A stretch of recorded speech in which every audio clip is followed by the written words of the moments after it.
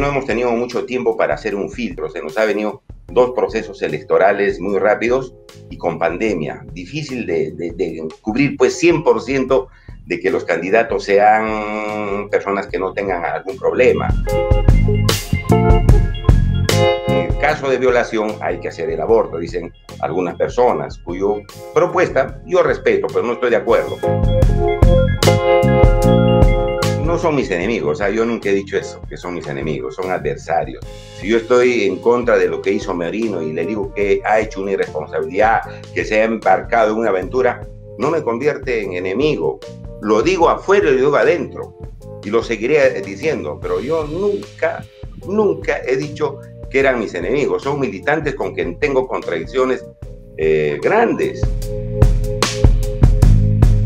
Eso es un punto que eh, se sobreentienden, eh, dónde están los pueblos indígenas cerca de los ecosistemas, ¿no? De, los, de las reservas naturales, ¿no? Yo no voy a utilizar leyes, existan o no existan, de gatillo fácil, ya, para responderle. Yo no voy a usar las leyes de gatillo fácil de ninguna manera, porque le acabo de decir, yo voy a dialogar, ¿no? El hecho de que le diga voy, no voy a, voy a derogar esto, no quiere decir que yo lo voy a utilizar. Claro que sí, pero no utilizar los derechos de la mujer para tomar venganza en contra de inocentes. 6% como se aprueba me parece muy bien.